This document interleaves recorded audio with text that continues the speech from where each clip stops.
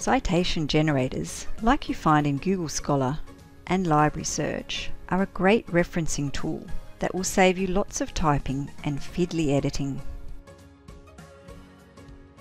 Look for the quotation mark icon.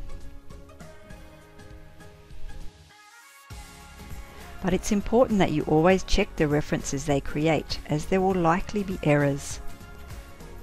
Here's an example of a library search citation in APA style for a journal article. Let's paste this into a Word document. We can see already that there are some mistakes. Firstly, the author's names are spelt out.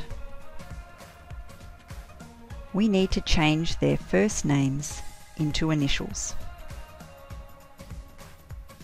Next, we need to check the capitalization in the title.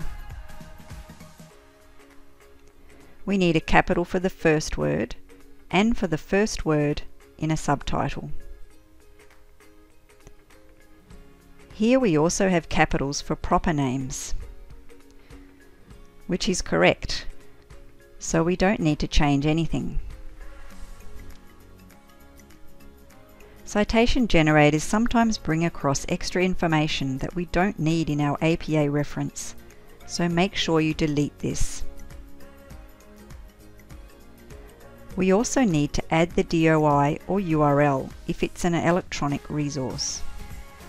Lastly, when we copy and paste from a citation generator, the italics will often disappear. So we need to check and fix up the formatting.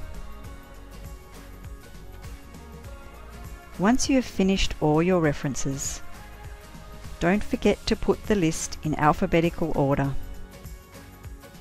and add the hanging indent.